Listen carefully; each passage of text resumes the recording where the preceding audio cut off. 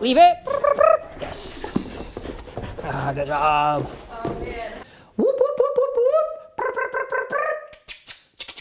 What are those? Those are verbal prompts. Let's talk about how powerful they are.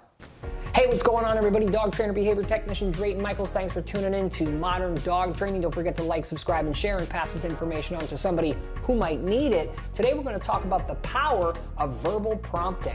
Verbal prompts are sounds that humans can make as standalone ways to redirect or refocus a dog or to get the dog over to you. They're also great to back up cues such as leave it, hand targeting, touch, or your recall. Remember, when you do an emergency recall, you don't just want to stand there and wait for the dog. You want to motivate them. These verbal prompts can be quiet, they can be medium volume or loud if the dog is far away or there's distractions. These verbal prompts, when they are conditioned, can have a dramatic effect on your dog's expediency in training.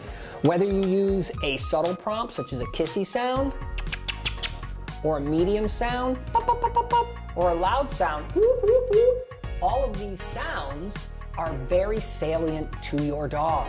Why? There is a section of the dog's brain called the Ascending Reticular Activating System, the ARAS. And this particular area of the dog's brain is great at processing novel sounds and general alertness. So these sounds are going to automatically be associated by your dog as something to check out. Verbal prompts are very easy to condition. Simply make the sound and keep making it until your dog orients to you, and when they do, mark yes and pay them a food treat. Yeah, yeah. Leave it all the way. Yes. So those prompts you hear me make, right? Those sounds, um, those are verbal prompts that you can use as standalone ways to get his attention and focus, or you can use them after cues, leave it in touch. So if I go, Louie, touch, yes. right? And those little kissy sounds just help motivate him. You can also use these prompts after cues, such as leave it, touch, your hand targeting, or emergency recall. Louie, come! Yes!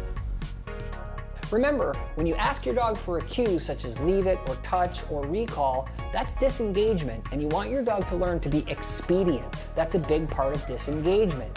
So make sure that when you do your disengagement cues, you don't just stand there, wait your dog out, and then they decide to do something else.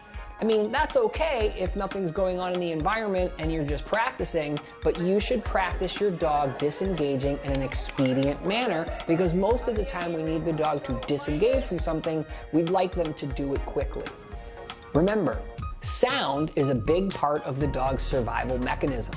Whether out in the wild or in domesticated situations, more likely than not, the dog is going to hear the sound first and then see the sight of the stimulus. So dogs are always going to orient to novel sounds. This is a big part of training, whether it's a verbal cue or you use your prompts.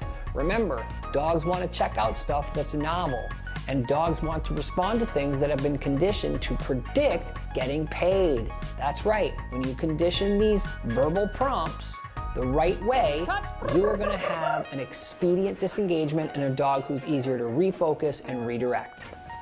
Let's take a look at some dogs responding to prompts.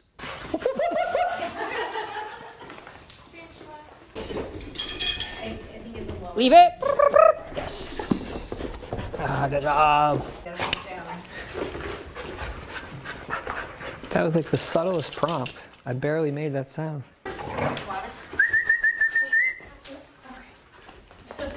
Out of the AV room. Let's go find it. Louie, come. Yes. Leave it.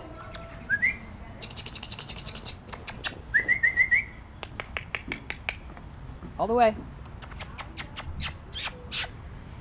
Yes, thank you.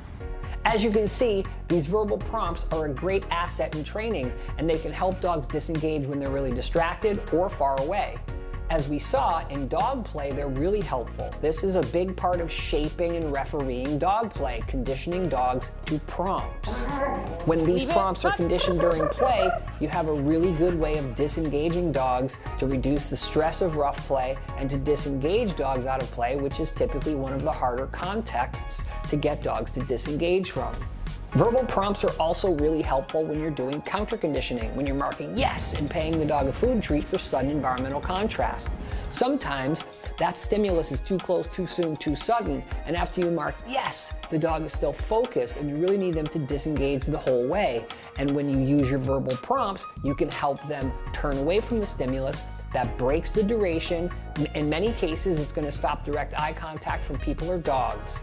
And that's really important because direct eye contact in many cases is what causes dogs to go over threshold. So when you use your verbal prompts in counter conditioning, it's going to help you in many ways. Stop struggling, stop negotiating with your dog. Say the cue and use verbal prompts. Or when you're counter conditioning, mark yes, and then use the verbal prompts if needed, and then pay. Verbal prompts are a really, really great way to get your dog to refocus and redirect their attention, especially in times where it's hectic or they're far away from you. So start using your verbal prompts. Thanks for watching Modern Dog Training. I really appreciate it. Don't forget to like, subscribe, and share, and check out this video with more helpful dog training tips.